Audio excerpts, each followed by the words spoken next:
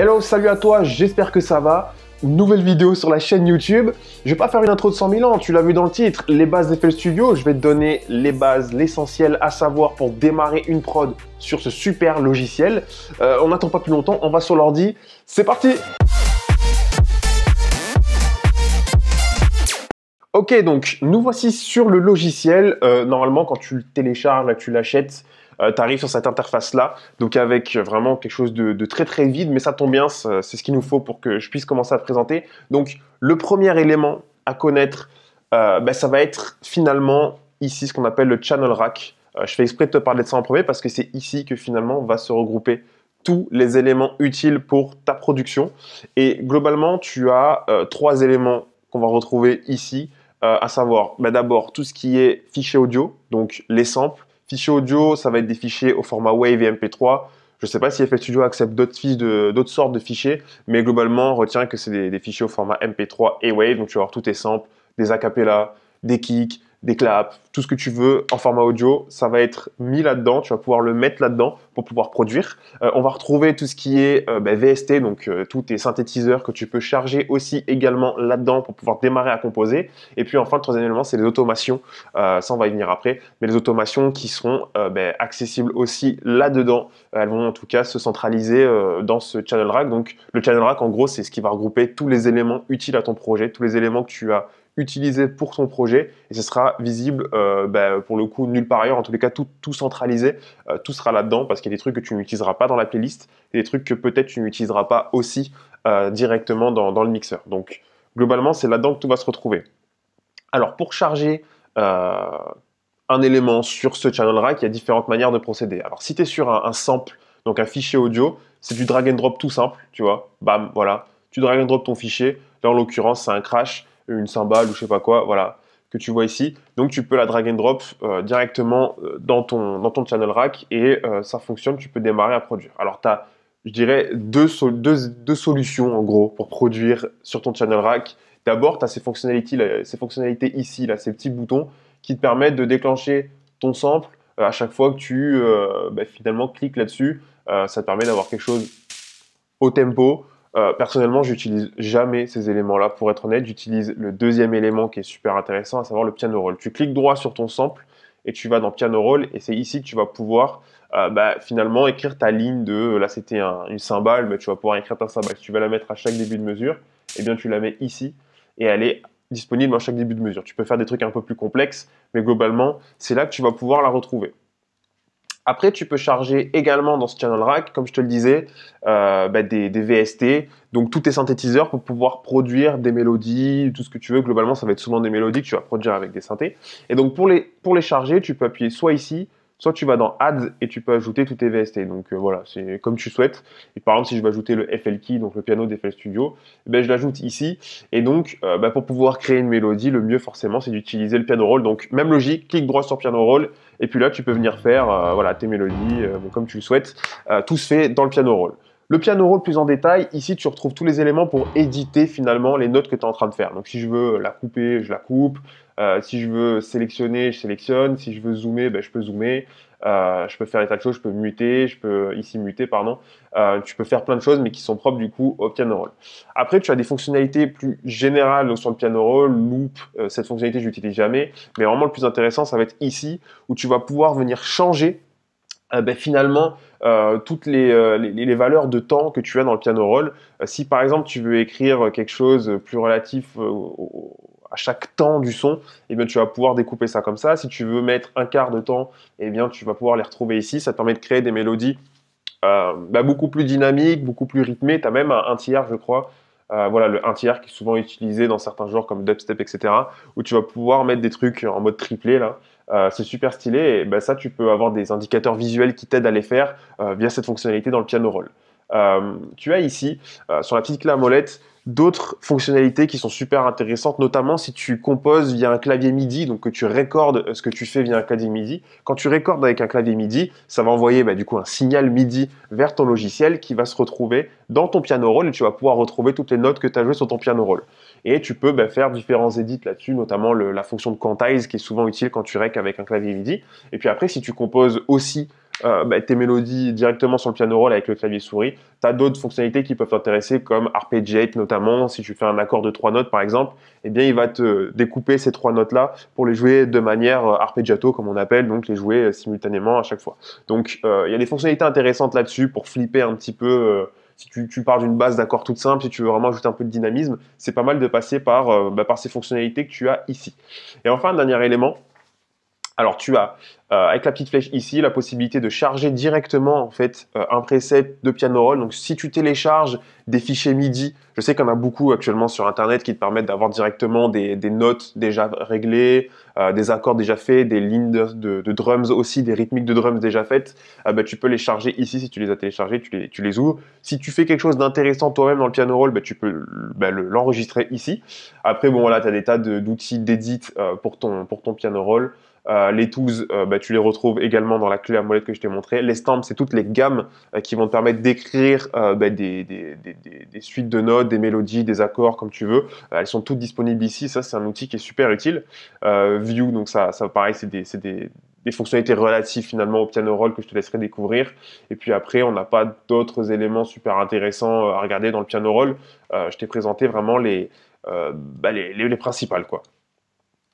Euh, et ça, bon, ça vaut pour euh, tous tes samples que tu peux aussi mettre dans ton piano roll et puis tous tes synthétiseurs que tu peux, euh, que tu peux finalement charger là-dedans. Le channel rack, il est utile parce que tu vas pouvoir découper ça en ce qu'on appelle des patterns. Sur FS, Studio fonctionne via ce qu'on appelle des patterns. Tu en as un nombre infini, je crois que c'est illimité pour le coup sur les patterns. Peut-être une connerie, mais en tout cas, je pense que tu en as suffisamment assez pour pas être en rupture de pattern. Et en fait, pour chaque pattern, eh bien, tu vas pouvoir ben, construire ton morceau euh, de manière assez intéressante. Moi, je sais que j'aime bien, par exemple, si je fais toutes mes drums, par exemple, euh, ben, les mettre dans un seul et même pattern que tu vas voir ici. Et donc, je vais écrire mes drums dans ce channel rack. Et puis, une fois que j'ai fini d'écrire mes drums et que je veux faire, par exemple, un piano, je change de pattern ici, tu vois, là-haut, je clique droit sur pattern et je peux défiler, tu vois, comme ça. Je vais dans le 2, et puis je m'ouvre mon piano, je me crée, je me crée mon petit piano comme je veux. Et par exemple, ici, euh, bah, dans, le, dans le pattern 1, je mets euh, le sample que j'avais ajouté au début la petite cymbale, que je te mets là. Et en gros, à quoi ça me sert Ça, ça va me permettre finalement de découper différents éléments de mon morceau et pouvoir les ajouter dans la playlist. Parce que la playlist, elle est ici. Et la playlist, c'est vraiment l'élément central pour pouvoir euh, bah, composer ton morceau. Les patterns sont cool pour écrire les différentes parties du morceau, mais pour centraliser le tout et construire l'entièreté de ton morceau, tout se passe dans la playlist. La playlist, elle te permet de construire l'entièreté de ton morceau. Ça part ici, bah, ça suit le rythme de la lecture, en fait, ça suit le temps de lecture. On part ici de 0 secondes, et puis on peut aller jusqu'à euh, l'infini. Tu peux faire un son de 2 heures si tu veux. Euh, tu verras la progression dans ta playlist. Donc si par exemple j'ai envie de faire jouer euh, bah, mon piano, je vais ici dans Pattern, je sélectionne le pattern 2, et je drag and drop facilement. Voilà, mon pattern 2, il est là. Donc il y a mon piano qui, est ici. Avec CTRL B, tu peux bah, le, dupliquer à la suite combien de fois tu veux. Mais par exemple, si sur les quatre premières mesures, je veux mon piano, je le mets là. Et puis si je veux mettre euh, mon, crash, là, mon, ride que j'ai mis tout à l'heure, et bien pareil. Je peux venir les sélectionner et le mettre dans ma playlist. Et puis, attention à tes oreilles, ça va être dégueulasse, je crois. Voilà, t'as un truc comme ça, bon, parce que c'est flingué, mais euh, que j'ai même pas le casque pour écouter. Mais en gros, tu, peux tout mettre ici. Et donc, en gros, si tu voulais ajouter ben, en piste 3, par exemple, une basse, et que tu voulais l'ajouter euh, à ce moment-là, et ben, tu vois, tu prends ton pattern 3, et puis tu viens la jouer quand tu le souhaites. Et c'est comme ça que tu construis ton morceau petit à petit. Et la playlist, ça va être intéressant parce que ça en permet de venir au troisième élément. Je te parlais des automations tout à l'heure qui vont s'afficher dans ton channel rack, mais globalement, les automations, tu vas les régler dans ta playlist. Les automations, c'est quoi? C'est une fonctionnalité qui te permet de régler les mouvements de chaque paramètre euh, finalement du logiciel. Tu as beaucoup de choses qui sont automatisables. Euh, il y en a qui ne le sont pas, mais globalement, tout ce qui t'est utile à la production, tu vas pouvoir le bouger. Par exemple, euh, si sur mon piano, euh, il se trouve que cette fonctionnalité-là de decay, j'ai envie de la bouger. C'est-à-dire que je veux pas qu'elle soit tout le temps à la même valeur. Je veux que quand ça, démarre, elle soit là et qu'à la fin de mon accord, elle soit là. Si je me dis que par exemple, bah, sur les, allez, les, quatre, les, quatre premières mesures qu'on a mis ici, il faut que ce decay il bouge, eh bien, je clique droit dessus sur cette fonctionnalité. Et ici, tu vas remarquer Create Automation Clip. Tu cliques gauche sur Create Automation Clip et ça va apparaître donc dans ta playlist. Tu as ton automation elle est là également ici dans ton channel rack, mais ça nous intéresse dans la playlist pour le coup. Et donc, si je veux la mettre à la valeur maximale, eh ben, je la monte jusqu'ici. Alors, je vais te muter tout ça parce que c'est horrible à l'oreille.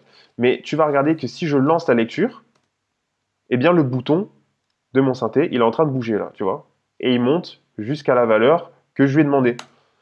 Et donc ça, en gros, euh, les automations, tu verras, tu, vas être obligé de les utiliser partout parce que ça va te permettre de faire vivre ton son. Et tu vas voir qu'on peut aller encore un peu plus loin. Et comment est-ce qu'on va encore plus loin? Eh bien, par exemple, mon piano qui est là, bon, ok, il est cool, mais euh, ben, j'ai besoin de, le mixer parce que si derrière je veux ajouter d'autres pianos, d'autres éléments, il va falloir que je passe au mix. Et d'ailleurs, si tu veux en savoir plus pour le mix, reste sur cette chaîne puisqu'il y a des vidéos totalement dédiées au mix qui vont arriver. Donc, euh, ça serait bête de les louper. Pour le mix, où ça se passe? Ben, Dans le mixeur. Et sur FL Studio, il y a un mixeur, il est là. Le mixeur, il est là. Et en gros, c'est ici que tu vas pouvoir venir mettre tous les différents éléments de ton son que tu as envie de mixer. Donc les samples et les synthés que tu as ajoutés, s'il y a à un moment donné besoin de les mixer, eh bien tu les mets dans ton mixeur ici. Et c'est là que tu vas pouvoir tout contrôler. Alors comment ça se passe? Par exemple, mon piano qui est là, je vais dans mon channel rack et ici, en fait, je peux contrôler la piste du mixeur à laquelle je vais assigner finalement mon piano. Donc si je veux la mettre sur la piste 1, eh bien, je mets 1 ici, et puis j'arrive à la piste 1. Et donc là, quand ton piano joue, bah, tu le vois, euh, il y a un signal en fait qui part sur la piste 1, il y a un signal qui part sur le master aussi, mais ça c'est normal, mais il y a un signal qui part sur la piste 1, et donc maintenant je vais pouvoir gérer tout ce que je veux globalement de cette piste via euh, les, les différentes fonctionnalités qu'on a là sur le mixeur. Donc d'abord, tu as le volume. Je peux gérer le volume ici de la piste. Donc individuellement, je peux gérer le volume de mon piano ici. Alors tu as d'autres manières de gérer le volume, hein. il n'y a pas que via le mixeur, mais tu peux le faire ici. Je peux gérer le mono stéréo. Là ici, c'est 100% mono. Là ici, je le merge de ouf. Alors ces fonctionnalités ici là que tu as de swap left and right et de euh, reverse polarity, je te déconseille de l'utiliser pour être honnête, je l'utilise pas, enfin ça me sert à rien. Euh, et puis, euh, tu as ici, donc ça c'est de la, track latency, donc c'est par rapport au plugin, etc. Mais pareil, ça, ça te servira pas. Euh, ici, tu peux désactiver les effets, tu vas voir, on va le regarder juste après. Puis ici, tu peux rec finalement euh, uniquement ce qui se passe dans ta, dans ta piste, dans ta piste du mixeur. Voilà. Ce qui va être intéressant, c'est que tu peux cliquer droit sur la piste et en fait, tu as plusieurs éléments. Donc, tu peux le rename et écrire que c'est un piano, par exemple. Euh, par exemple, tu vois, bon, après tu peux supprimer si tu veux, tu peux régler la couleur si tu le souhaites, etc. Mais plus intéressant que de faire ça, euh, si par exemple je le rename ici, que c'est un piano, voilà, comme ça, et que j'ai mis bien sur la piste 1, et bien en fait, si je vais dans, donc clic droit, Channel Routing, Route Selected Channels to this track, boum, tu vois que le nom que j'ai assigné dans mon channel rack, et ben en fait, il se répercute directement dans le mixeur. Ce qui fait que tu peux même faire CTRL L pour aller plus vite. C'est-à-dire que tu fais ça, CTRL L, et ça va faire directement ce que je viens de faire là à l'instant. Euh, ça, ça te permet bah, du coup de t'y retrouver. C'est-à-dire que tu renommes tous tes différents instruments dans ton channel rack, et puis dès que tu les assignes sur le mixeur, bah, leur nom va apparaître dans le mixeur, et comme ça, ça te permet de t'y retrouver et de savoir quel élément correspond à quelle chaîne de ton mixeur. Parce que quand tu vas avoir 100, 100 éléments qui tournent en même temps sur un son, je peux t'assurer que pour trouver quel élément tu veux bouger, c'est un peu galère si tu les as pas renommés. Donc, je te conseille de, faire de cette manière. Et puis, une fois que c'est assigné, eh ben, je peux faire beaucoup de choses. Donc, régler le volume comme on a fait là, mono stéréo. Euh, tu peux régler aussi le left and right. Là, ça joue complètement à gauche. Là, ça joue complètement à droite.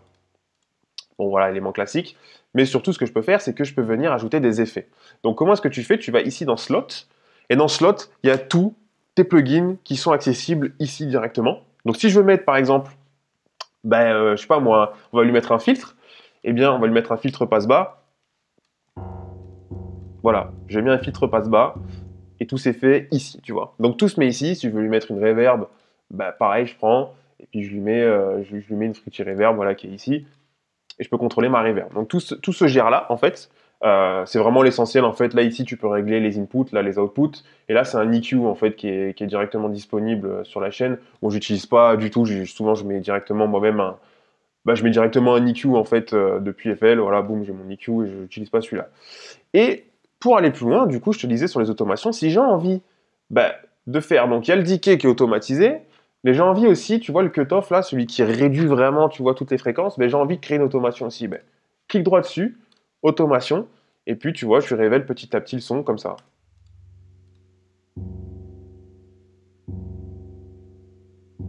Voilà. Bon, en gros, euh, tu vois que les automations, c'est vraiment super utile et que surtout, tu vois, ça se répercute dans la playlist. Tu les gères depuis la playlist. Mais en gros, le combo, c'est ça, quoi. C'est-à-dire que tu, tu charges sur ton channel rack un piano. Donc voilà, il est ici. Après, tu lui assignes donc un pattern. Tu te dis, il y a un pattern spécial piano, je lui mets là, tac. On a créé, on a mis le piano. Après, je le charge dans ma playlist pour le faire apparaître au moment où je souhaite qu'il joue dans le morceau. Et puis après, je le mets dans le mixeur et puis euh, je m'amuse à lui mettre des effets. Et s'il y a des effets que j'ai envie de faire bouger comme le filtre, c'est-à-dire démarrer une intro avec quelque chose d'étouffé puis révéler petit à petit mon piano, eh bien je peux le faire via une automation. Et globalement, là, je t'ai couvert euh, bah, tous les éléments super utiles sur FL Studio pour que tu puisses euh, bah, démarrer dès maintenant à faire des productions. ouais, je crois que j'ai tout couvert. Vraiment, il n'y a, a, pas d'autre chose. Pareil pour les patterns, tu peux les renommer aussi. Voilà, ici, tu peux renommer, tu peux dire que ça, c'est le piano. Et puis, voilà dans la playlist, du coup, ça va s'afficher piano et tu sais où se trouve ton piano dans ta playlist. C'était peut-être le dernier élément que j'ai oublié, mais pour le reste, on est OK. Et eh bien voilà, c'est la fin de cette vidéo. J'espère que tu as appris quelque chose et que maintenant tu sais plus ou moins comment utiliser FL Studio. Donc travaille vraiment ça, franchement, channel rack, création de pattern, tout mettre dans la playlist pour construire son morceau de A à Z. Et puis après, assigner les différents éléments de ton son dans le mixeur, mettre des effets dessus, faire des automations euh, bah, combien tu le souhaites, mais juste pour créer quelque chose de beaucoup plus dynamique et de modulé, bien voilà, tu as tous les éléments, tout est en main là pour que tu puisses démarrer et faire une production qui fonctionne bien. Euh, bah, écoute, moi je te dis à la prochaine, j'arrive avec de nouveaux tutos bien évidemment pour t'expliquer comment ce logiciel fonctionne et comment est-ce que tu peux aller très très loin avec ce logiciel. D'ici là, porte-toi bien, on se dit à bientôt, salut